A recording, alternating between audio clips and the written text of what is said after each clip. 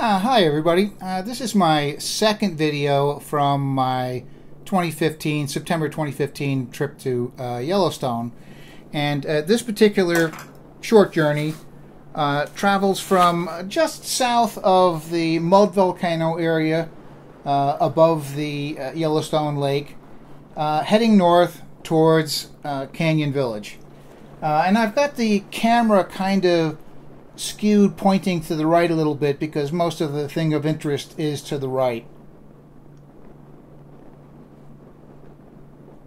And we're coming up here pretty shortly to uh, the mud volcano, which will be on the left. You won't actually see it because it's kind of off the road.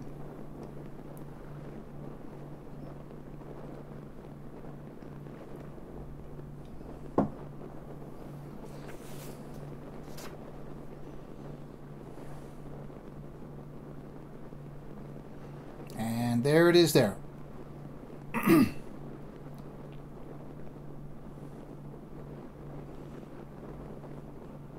so basically all along uh, uh, the right side of the road here, and again we're heading north, uh, north of the Yellowstone River, and that's the Yellowstone, I'm sorry, the Yellowstone Lake, and that is the Yellowstone River that's to the right of us here. And the uh, river snakes through an area uh, that is similar to the Lamar Valley north of, of here and is perhaps a, a secondary, almost Serengeti like uh, area within Yellowstone.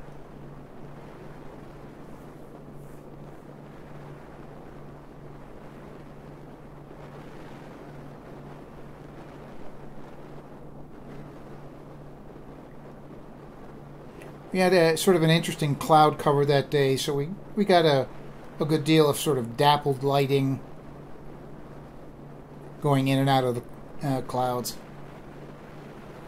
shadows.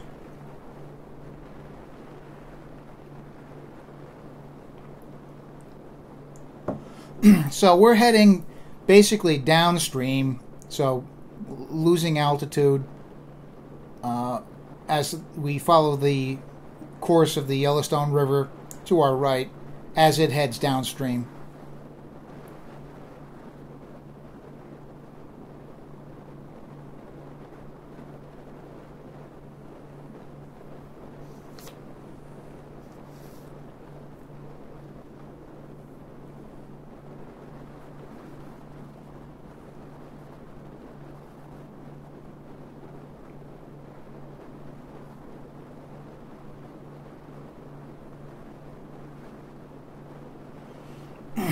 At numerous places uh, along this road. Uh, off to the left, and again, you don't see that uh, because the camera's pointing more to the right, but off to the left, uh, the, the ground slopes upwards, and there are numerous little streams and creeks that feed into the Yellowstone River. And we're approaching, uh, I believe this is uh, Elk Antler Creek. So obviously they pass underneath the road through culverts or whatever. And uh, there's numerous of those along this route.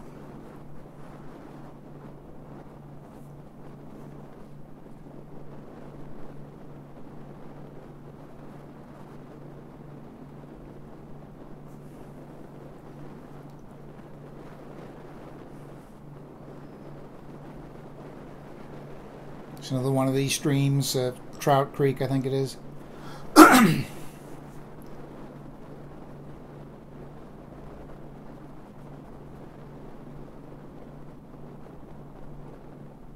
So, in addition to the major wildlife, uh, you know, the big animals like the bison and elk, and uh, there are bears, both black bear and, and uh, grizzlies.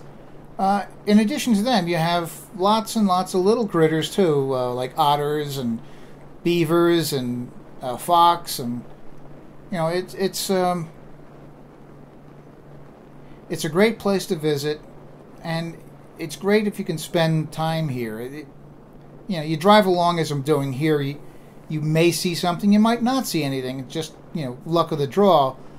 But if you go there just with the intent of sitting out, maybe pulling alongside the road, getting out, sitting in a chair, maybe sipping a glass of wine or something. It's just, it's just so beautiful.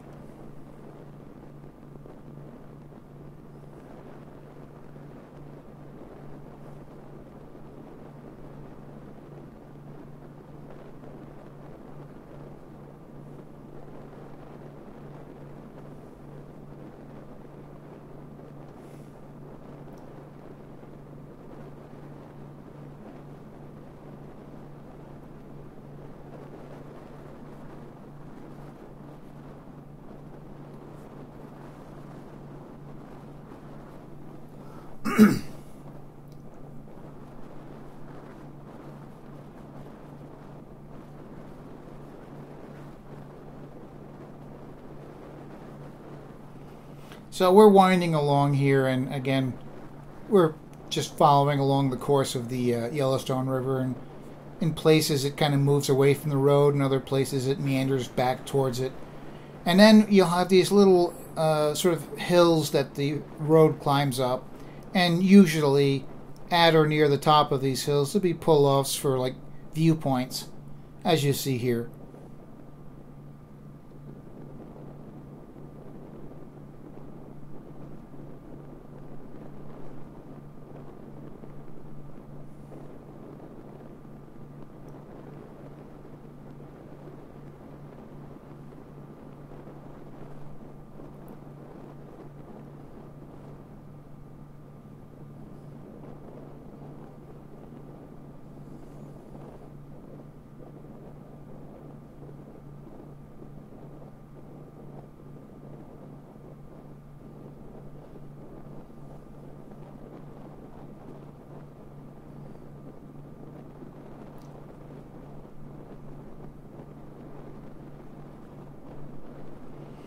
So this was again in September of 2015, right around about the 24th or 25th of September.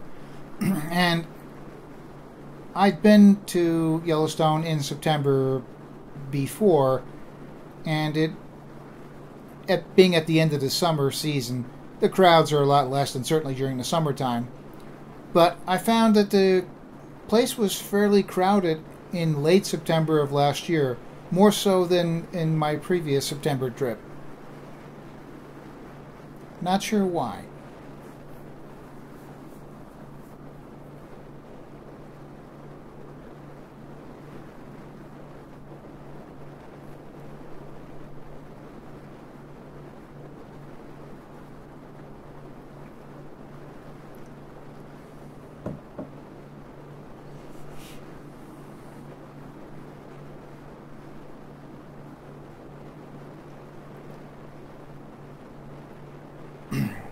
Another stream crossing here. I think this one's Wolf Creek.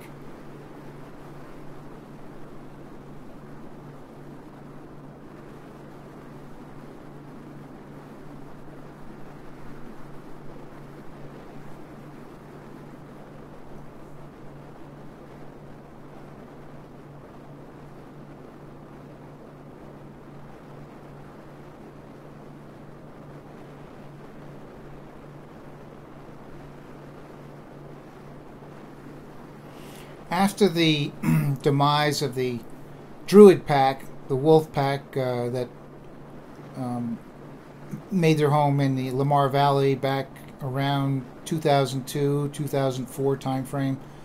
after the demise of that, I think a lot of the uh, more of the wolf activity um, was on this area, in this area of of the park, versus, for example, the Lamar Valley um, but I don't know that that's true anymore.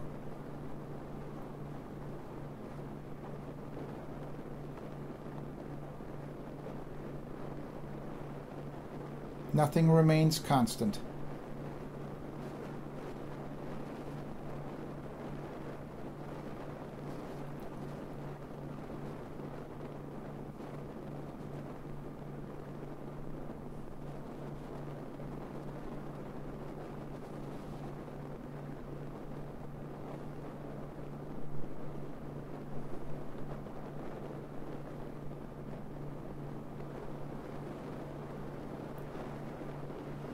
Now, most people that come to Yellowstone or any of the you know major national parks for that matter, it's generally a short stay. You know, I think the average stay at the Grand Canyon is like five hours or something like that.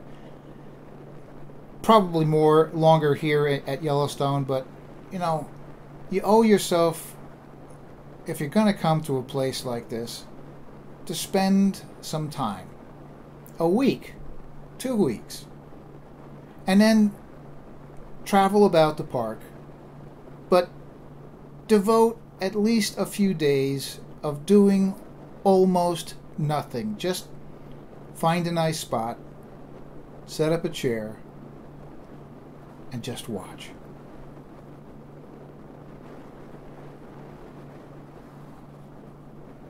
Soak it in.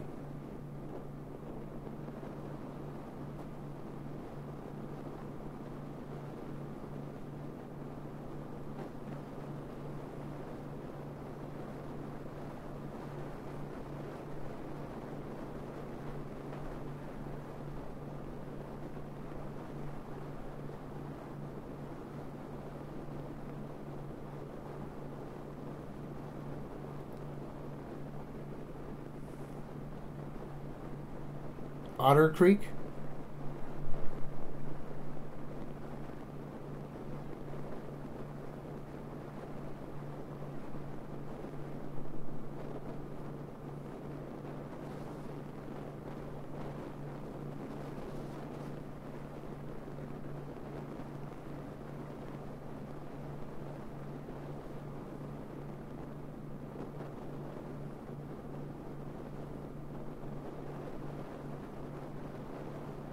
I wonder if there's any places where otters and raccoons share the same habitat.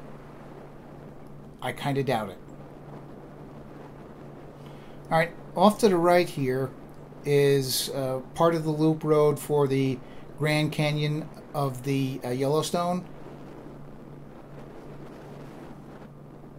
And you'll see the upper and lower falls and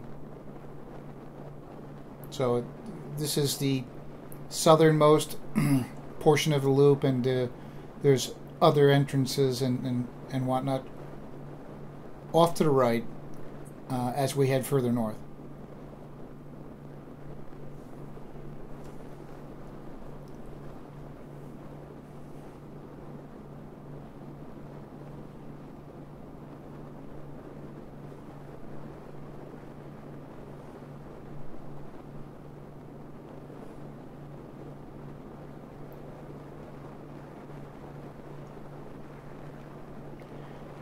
Off to the right here in just a second is a view port or a view spot for the um, what they refer to as the brink of the upper falls.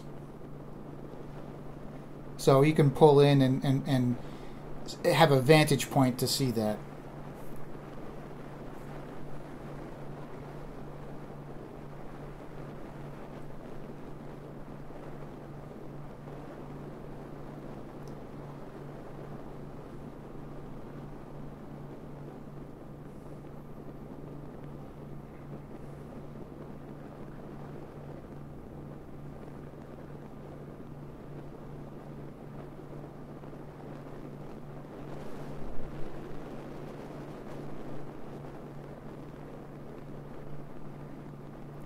The northern end of that loop.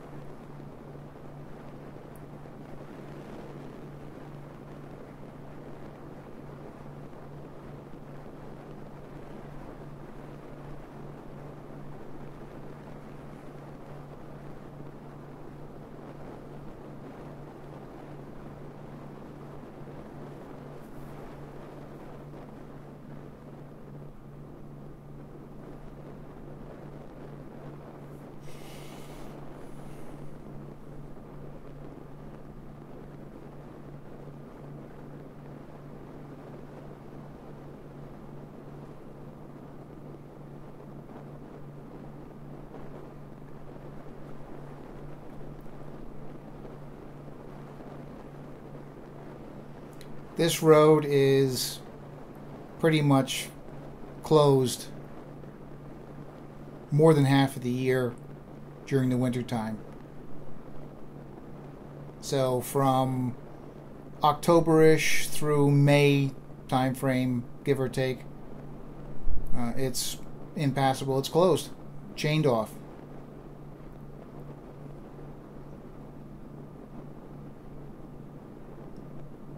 At that point, the park belongs to the animals.